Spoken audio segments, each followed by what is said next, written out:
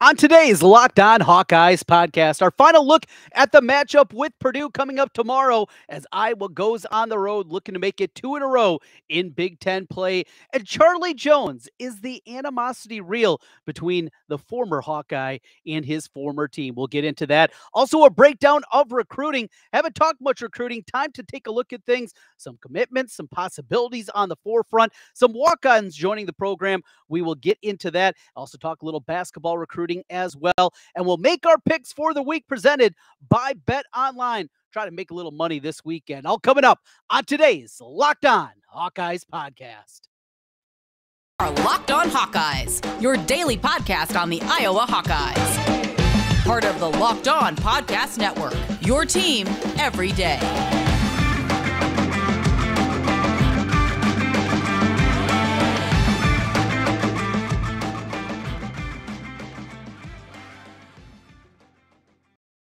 Welcome back once again to the Locked On Hawkeyes podcast. I'm Trent Condon. Thanks for making Locked On Hawkeyes your first listen each and every day. Available wherever you get your podcasts Apple, Google, whatever it is, maybe Stitcher, somewhere else. We got you covered there. And of course, you can find us on YouTube. Just search Locked On Hawkeyes, rate, review, subscribe while you're there. Help us out and help us get in front of more Hawkeye fans. Your team each and every day here on the Locked On Network. Today's episode is brought to you by Underdog Fantasy. Sign up on UnderdogFantasy.com with promo code Locked On and get your first deposit doubled up to $100. That's Underdog Fantasy. Dot com. Well, thanks for joining us once again on the Locked On Hawkeyes podcast. A busy week, lot going on as we're now hitting that part of the season where both the men's basketball and women's basketball and wrestling overlapping with football. Our concentration always football first, men's basketball right behind it. And, and, anybody that's listened to me, I think, understands just how much I love uh, basketball and Hawkeye basketball. We got a lot, I think, to be excited about here today. We'll break down a little recruiting coming up here this uh, day. A lot to go into both on the recruiting front as Iowa still looking to figure out uh, how they're going to finish up their class, both in men's basketball, with it looks like one scholarship still available uh, that they're going to be looking to sign with signing day right around the corner. And of course, football as we get to early December and that signing period there. So we'll talk about that today. Going to talk plenty about this matchup with Purdue. And it's a game that, you know, it's been so interesting this week when you look at a Purdue team that as we've talked about. They've won four of the last five against Iowa. They've had their number. Jeff Brohm, what he's been able to do in game plan and scheme against an Iowa defense that is week in and week out so very good. Last season, you go back to that game and the frustrations that came down, and it was frustration certainly inside of Kinnick Stadium that day. If you remember, late in the game, there were some beer ba- bottles being thrown onto the field, and uh, one of the offensive linemen for Purdue just uh, decided to take a chug of one how crazy was that? I mean, college football, you just never know what you're going to get. But it was frustration from what we saw. Iowa finally breaking through, gets that win against Penn State, beats one of the blue bloods of the Big Ten, ranked to the top five nationally, up to number two, and and then it just fell apart against Purdue. Not even close. One of the worst games of Spencer Petras's career. He was throwing interceptions all over the place, and now, there's people that have the theory that that was maybe the game that broke Spencer Petras, and and they're not going to be a guy that we're ever going to see back at the same level that we saw earlier in his career. It's a theory that is out there. I don't know if I've subscribed to it. I think there's been plenty of holes well before that, but he was not good a year ago against Purdue. And what Brohm does, and Jason and I talked about this also earlier in the week, his ability to just not just game plan and scheme and find those soft spots in the zone and and find what Iowa's doing, but his ability to exploit it. You know, there's something about offensive coordinators, I think coaches in general, that so often they just become bored with what they're doing and they go out there and all right, we got to show everything that we're going to do and look how smart I am, those kind of things. That's not Jeff Brohm. Uh, what he does is he finds something that is going well, he is going to exploit it. And he has been able to do that time in and time out against Iowa. But you know, the question this week about Charlie Jones, and really this is a Charlie Jones conversation this week. Though there are two wide receivers at Purdue right now that played at the University of Iowa and played for the Hawkeyes a year ago. Tyrone Tracy handled it well is a guy that fell out of favor a year ago, was not the same guy that we saw early in his career. He was struggling struggling with drops, he was struggling with scheme. went through it, decided to go back home. It made a lot of sense. You know, you can understand where he was coming through, through from a, a fresh start for him, an opportunity to play in a different kind of offense that maybe is more suited for his skill set. Those are the things that made sense. And he did it right after the season ended. He goes to Purdue. In fact, he came back, came back for the spring game, and he still has friends here and was respected. That's not the case with everybody right now with Charlie Jones. Riley Moss. These are guys that lived together, obviously teammates, knew each other incredibly well, and said, yeah, they don't talk. And don't talk because of the way that Charlie Jones handled this. When the rumblings first started about him looking around and a potential uh, looking for a new destination, it's all well and good when you do it. When you do it before you go through spring practice. That's what rankled some people. Now, personally, I don't have a problem with it. So this is the environment we live in here today. This is the environment that we go through in college sports. And it's the reality that is going to continue for a long time. You don't like your situation. You don't like your offense. You don't like a coach. You can leave. You just get up and go. And that is what we have set up today. Coaches can always leave, right? Nobody had a problem with that. Well, maybe have a little problem if a guy's leaving your school for a school hey, you don't see as equal or think they're rung down, whatever it is. But that aside, coaches can leave, assistant coaches can leave, administrators can leave, athletic directors, they leave all the time. We saw it this week with Auburn getting Mississippi State's AD the week that they're playing each other in football. Uh, these things happen. But in the past, the college athlete, the student athlete had to sit out a year because of the rigors of transfer. Come on. You live in another dorm or new apartment in a different town going to be all right. It was old school thinking and free agency, like it or not, it is here and here to stay. But it sounds like there was more to Charlie Jones. There was maybe a little bit of deception and and another angle to this. Riley Moss is going to be ready. Merriweather's going to be ready. Cooper DeJean's ready. These guys are ready to go. And it's not that they're going to play dirty because that's not the way Phil Parker's teams play defensively. It's not going to be that, but it is going to be physical. And if there's a chance where Charlie Jones is coming across the middle and he can lay hit on him, clean one, not leaving with the head, not going at his head, no, none of that. This Iowa defense is going to be ready. Jack Campbell is going to be ready. Jack Campbell, when you hear him after games, win or lose, that guy's out there, and you can tell he knows what it's about to wear the black and gold. Charlie Jones didn't have that. Now remember, he also came in as a transfer himself initially in his career, started his career at Buffalo before he came in. He made a decision to be a wide receiver, to be the best wide receiver that he could be. Purdue was the place for him. They've had guys drafted in the NFL under Brohm, of course, David Bell, Rondale Moore, and a whole bunch more that have gone through there. And you can see it's an offense that fits. It made sense. But the way that it was handled. I think it bothered a lot of people and is going to add a little bit of juice to this matchup. I'm optimistic for once. I am. I think that A, Phil Parker has had this one circled. Obviously, the players have had this one circled. This is one that, remember that a year ago, just the euphoric high that we were going through as a fan base and then to see it fall and, and not just to lose the game to Purdue, but lose it in that fashion, just look absolutely dreadful and get blown out against Purdue. That was a stinger. These guys remember. I think you're going to see a good effort. Is it going to be enough? We will see tomorrow.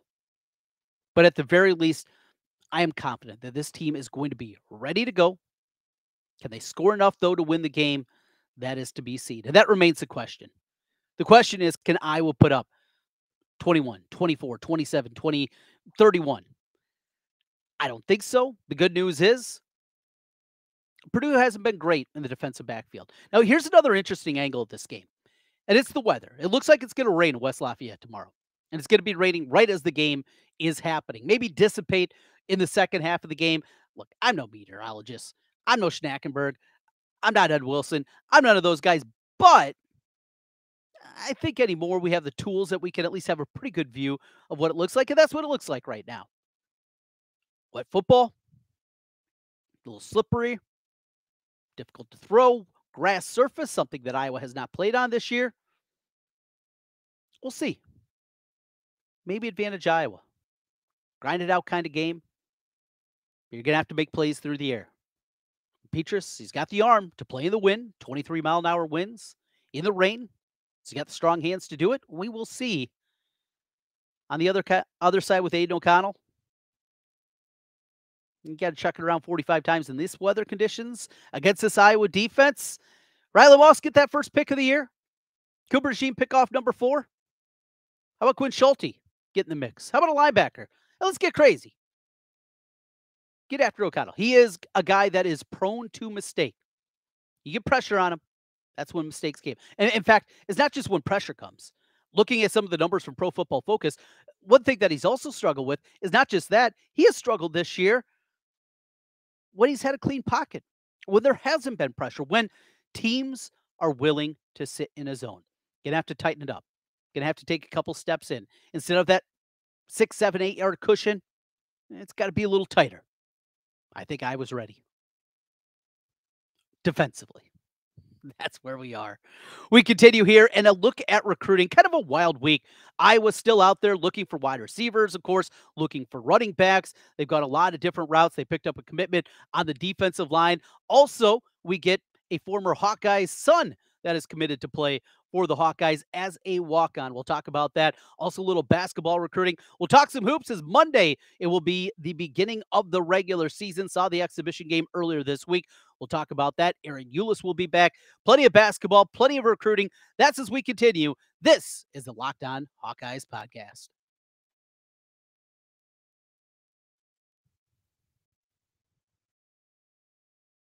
This episode is brought to you by Underdog Fantasy, the easiest place to spice up college football season. It is a great time and a great weekend for college football.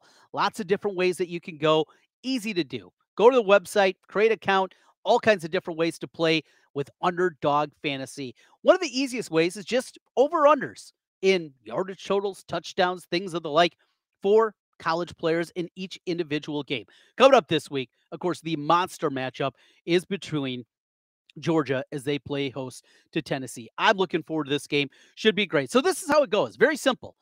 Higher, lower. Hendon Hooker, 271 and a half yards passing. That's all you do. Put it in. Jalin Hyatt, who's got like a billion touchdowns this year, 73 and a half yards receiving. Stetson Bennett, the quarterback for Georgia, 293 and a half is this passing. Higher, lower, put them together, and that is how you play at Underdog Fantasy. Available in over 30 states. Just pick between two and five players on any team, and not just your team, and decide if they will finish higher or lower with the given total. Sign up with promo code Locked On, all one word, Locked On, and Underdog will double your first deposit up to $100. Think of that. Deposit 100 bucks, you get 100 bucks free. Go to underdogfantasy.com or find the Underdog Fantasy app in the App Store or Google Play Store. That's Underdog Fantasy promo code Locked On. One word, Locked On. Get in on college football pick'em action today with Underdog Fantasy. Trent Condon back with you once again on the Locked On Hawkeyes podcast. Thanks for making Locked On Hawkeyes your first listen. For your second listen, don't forget about Locked On Sports Today. It is a great podcast that gets you covered on everything going on. What a game five tonight in the World Series. Uh, that was incredible to watch. You can go beyond the scoreboard, behind the scenes, local experts, insights. Only Locked On can provide. Locked On Sports Today, available on this app, YouTube, or wherever you get podcasts. As we roll through here, a interesting week in the world of recruiting. Now, recruiting is a weird business. I'll be honest, back in the day, I was big into recruiting. I, I love this stuff. I, I, couldn't get enough of it. I was a subscriber to all the websites, and I still am. And have money going out there uh, to all the websites out there. But you know, the guy's at 24 7. David Eichhold, uh, a guy that I know really well and has been on my radio show for years. Tom Kakert at Hawkeye Report. You know, these guys do an incredible job in the recruiting front. I'm not as into it as I once was, but I do call high school football. And I do that. I call high school sports all throughout the year. I do baseball, I do wrestling, I do basketball, and football, of course, during the fall. And with that, I get an opportunity to see these guys. I feel like I have a pretty good gauge and a pretty good feel of what's a D1 player. Now, the gap and the difference between some guys, and, and I watch some guys and say, boy, eh, you know, he doesn't have max schools even after him. There's times that that leaves you scratching your head a little bit. But Yeah, I'm not scouting. That's not what I am. I'm broadcasting a game. So, one guy though that's always stood out to me, going back to his sophomore year, is Jalen Thompson at Dowling Catholic, and I do a ton of Dowling Catholic games. I'll, I'll be calling their games. I'm sure at the Unidome coming up this week if they get another win and punch their ticket back to the semifinals once again. He's a guy that has good size, good frame, and his dad, guy I knew at Iowa, Rod Thompson. Uh, we were uh, freshmen the same time, had a couple of classes together, so knew Rod a little bit, and makes me feel very old, and I'm sure Rod as well, that his son is getting ready now to play football as a former basketball player at the University of Iowa. But one thing that is so intriguing about him is it still feels like there's even more upside to him. Preferred walk on. This is a kid that had D1 offers. Northern Illinois had offered him. And yet he ultimately decided he's going to walk on, try to earn a scholarship with the Hawkeye program. Those are the kind of guys that you certainly need. Another guy that they got this week in the walk on realm is Watts McBride from Cedar Rapids, Washington. Now, haven't seen him play in person. Did watch uh, some of his huddle film. Really impressive. I mean, he just has the look of the next. Well, I just mentioned Quinn Schulte earlier in the show, right? The walk on safety goes out there. By the time he's an upperclassman, he'll play special teams early on. Hey, look at this guy. He's starting to pop. And all of a sudden, you got a guy that's a you know a couple year starter. That feels like know, we get so many of these guys, and, and maybe Watts McBride is that guy. He also had an offer from Nebraska now, Scott Frost has been fired. Is that offer still there? Most people don't believe it is. But regardless, another high level walk on. And that's a big, big part of this Iowa program. You need that. But you also need to supplement it with some other dudes. So they're looking at running back. They look they want to bring one in. Had the kid from Florida that was committed for a while. He decommitted about a month ago. So they're out there. And they're looking all over the place. So they find this kid from New Orleans. Arnold Barnes, big dude, uh, thick, and not listed huge, but he just watching him play, watching the film on him, he's got some size to him. Takes a visit this past weekend. He's in Iowa City, had glowing things to say. Tom Kakert of Hawkeye Report, part of the Rivals Network, he in fact put in a future cast saying that he believed that he was going to be a Hawkeye. And then less than a day later, he gets commits to Nebraska. A Nebraska program that has fired their head coach, that you don't know who the coach is going to be. A lot of people screaming NIL. If it is, that is the way of the world. As we talked about earlier with transfers, same thing here with NIL. That very well could be the case. And if it is, Iowa needs to continue to work to figure it out. The Swarm Collective, that is one place that I know they are doing that work and putting that kind of work in. And if you have the ability to do it and you want to do it, help out with the Swarm Collective. It is something that is going to be very important to the future of Iowa athletics. So that's one that maybe isn't over yet. Commitment can't sign until December. Keep an eye on that. Also, a kid from Florida, another running back uh, that was in Kamari Moulton had some good things to say. Had a Florida wide receiver in six foot three, Jarriett Buie. Uh, that came in on a visit last weekend. Again, good things to say. It's very rare that you're going to find guys. Yeah, well, the visit was terrible. I mean, come on. You're 17, 18 year olds, years old. You're going and hanging out with the football team in Iowa City. If you don't have a good time, that's on you. You got your own problems if that's what it is. But uh, just a couple of names to throw out there on the basketball front. They are looking to add one more, one more big before signing day comes up next week on the basketball front. Uh, Ladji Dembele is a guy from up in the Northeast uh, that they're looking at. He's apparently going to be taking a unofficial visit this weekend to Rutgers.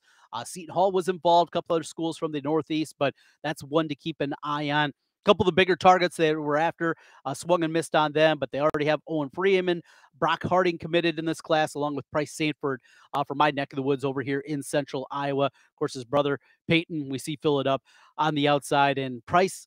He's a fun, fun player to watch. A little more wiggle to his game, a little more athleticism, a little more bounce and he has grown immensely uh, throughout his career. I saw him a couple years ago when he was out there with that Waukee State Championship team with the Waukee Northwest squad after the high school. Uh, split into two a year ago, and he'll be back for his senior year. In fact, speaking of Waukee, both Northwest and Waukee High, oh, they are going to be both loaded this year. Should be a lot of fun watching basketball here in Central Iowa across the state. We got some big changes also. We got a shot clock coming. The association, the boys in Boone, are actually doing brackets the right way and waiting towards the end of the season before they put those things out and what the pairings are going to be, a tip of the ball cap to that. So good things coming in basketball. And we'll keep our eye out on the basketball and the football recruiting front. But just a little bit of an update for you. Kadyn Proctor, seen him a bunch uh, this season, really throughout his career. I probably called, I don't know, a half dozen, maybe eight of his games throughout his career. He is as advertised. I mean, he is a day one starter. I, I don't see anything short of injury and the struggles that Iowa's had this year at the tackle position that is going to keep him away from being a starter. Will be at left tackle right away. Now, could it be a guy like Tristan Wirfs that was a right tackle initially and ended up sticking there? That very well could be the case. We'll see on that front, or even start him inside and move him outside. That's something in the past. But because of the woes this year of that offensive line, I, I think there's a big opportunity for him to go out there right away. Also, the kid from Indianapolis, a four star uh, lock, who because of Kadyn Proctor doesn't get a whole lot of love. Remember, this is also a kid that had offers from Ohio State, from Notre Dame, from Michigan. This was a highly regarded guy, 6'6, 270 pounds. Will he be ready to go right away? We'll see. But adding those building blocks, they need it. They had so many misses in the 2019 and 2020 classes on the offensive line. They really need that to happen, and they need those young guys to come in, be ready to go. David Davidkov. Maybe he can get healthy and get back there on the field. Some hope for the future of the offensive line. That's a great thing about recruiting, right? It gives you hope. Might not come to fruition, but at minimum, you have some hope. Well, we got hope coming up this weekend. Iowa against Purdue. Optimistic at least a little bit. Maybe it's just for a day. I'm not positive. We're going to see. We're going to break that one down. We're going to make our picks. It's presented by Bet Online. A look at the games of the Big Ten, of course, the big national games coming up this week. How's it play out? Let's make some money. We'll do it as we continue. This is the Locked On Hawkeyes podcast.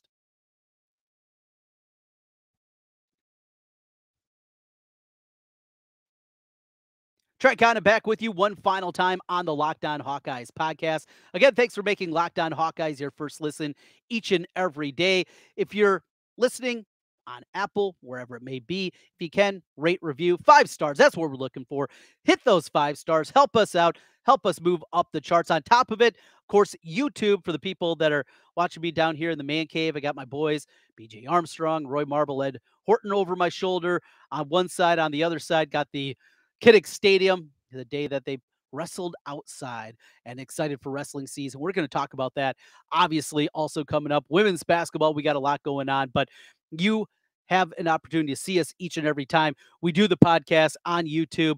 While you're there, hit the subscribe button. It helps us get in front of more Hawkeye fans. As we wrap up today, time for some recruiting. Excuse me, some betting. as I was looking over there. Yeah, time for some betting. Now, this has not been a great season for me. I'll, I'll be honest.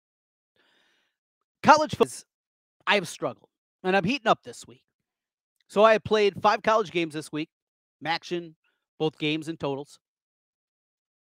Hit tonight, one of the two games, four one in the week in college football, but it's been a struggle in college football. NFL, in fact, which is a rarity. That's where I made my money this year in betting. I've been a sports gambler for a long time. In fact, a little story time with your boy Trent Condon here. My first ever bet, speaking of the guys over my shoulder, they were on the team. The year, I believe, was 1988. It was the LeFester Rhodes game. And for you old timers out there, you remember that game. Now, I was a young kid. I was in elementary school. I didn't know much about Iowa State. And growing up in the 80s, even in Osage, a farm community closer to Ames than Iowa City, outside of a couple of people, it was all Hawkeye fans. I mean, that's all it was. It was a 90 10 split between Hawkeye fans and Cyclone fans back there. But one of the 10% was my dad's buddy, Tom Kleckner. And Tom, single guy, like to play a little loose, playing gambling. And we kept it very simple. There was no point spread involved. He just said, Hey, you want to bet? I said, What's that? Five bucks. Who wins the game? Well, I was not going to lose to Iowa State in my seven year old brain. That's how I thought it. Well, this is easy. Five dollars, sure. Game goes on. LeFester Rhodes goes off for 54. Iowa loses a tight one, and I'm down $5. And very quickly, his hand was out. Where's the money? As the game went final, tears welling up in my eyes. Not only did Iowa lose, now I owe the guy five bucks. That was my first gambling experience. LeFester Rhodes against the Hawkeyes. And it's continued since then. I love gambling. I love sports wagering. Now, I am not a huge player in terms of money spent. I'm just as happy. In fact, I'm, I'm more happy betting 10, 20 bucks a game as opposed to hundreds of dollars. I've been there before. I don't like the feeling. I like the feeling of just seeing at the end of the season can I beat the book? Can I work ahead over the course of the season? That's enough for me. Bet Online has you covered with that and a place that you can go to make your wagering. So, coming up this weekend, as I said, college has not been kind to me. I'm grabbing the points with Iowa, though. Maybe that's a good thing. Maybe that's a bad thing. We will see. I'm grabbing the points. I'm I'm buying into this week that this Iowa team is going to be ready to go. That the defense is fired up. Phil Parker has figured something out schematically, perhaps against Purdue. Whatever they need to do to tighten it up, I am a believer this week. I'm going to grab the points with Iowa. Two in the Big 12, I really like. In fact, my first bet of the week going back to Sunday was the TCU Texas Tech game. Of course, TCU ranked number seven in the playoff committee. Uh, many people believe they should have been higher. They're undefeated. They have beat four consecutive ranked teams. Now, those teams aren't ranked anymore. Kansas isn't ranked anymore. Oklahoma's not ranked anymore.